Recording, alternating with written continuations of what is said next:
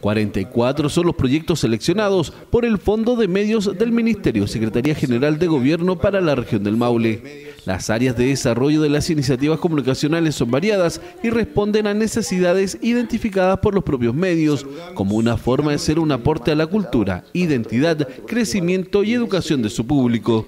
Podemos desarrollar eh, el área cultura, el área cultural de televisión con En esta oportunidad con el proyecto Butaca Pública, en donde recorreremos distintas ciudades de la región conociendo su nueva infraestructura cultural que está disponible eh, a la gente, a los gestores culturales y a los artistas. El proyecto que se presentó en esta ocasión se llama Gualañé, un canto a lo divino, es tratar de rescatar las tradiciones, los, los cantores populares y poder mostrarlo a la comunidad. Es la oportunidad de poder eh, equiparse y hacer proyectos de mayor calidad, de poder contratar a algún profesional que nos nos apoye en, lo que nosotros eh, proponemos en este caso, que es un proyecto orientado a la educación cívica.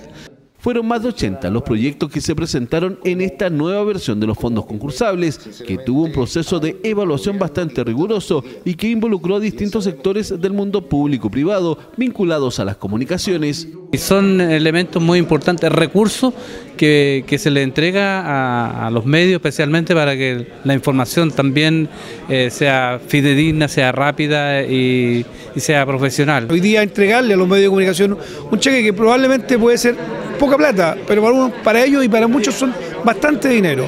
Los medios escritos, los medios radiales, los televisivos, eh, son eh, súper fundamentales que sigan existiendo, que sigan eh, difundiendo la cultura, la educación cívica, el encuentro entre los ciudadanos, la información oportuna, la entretención, y yo creo que con estos pocos recursos algo estamos aportando. Fortalecer a los medios locales es el objetivo de este fondo a través del financiamiento de iniciativas que tengan sentido para la comunidad, lo que ha permitido un incremento de los recursos en los últimos años.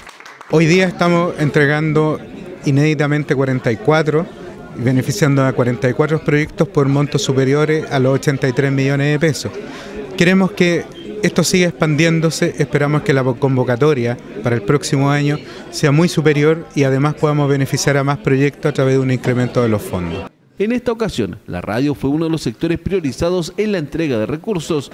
Sin embargo, la prensa escrita, audiovisual e Internet también obtuvieron apoyo, con lo que podrán acceder a equipamiento y desarrollar propuestas comunicacionales para sus lectores, auditores y usuarios.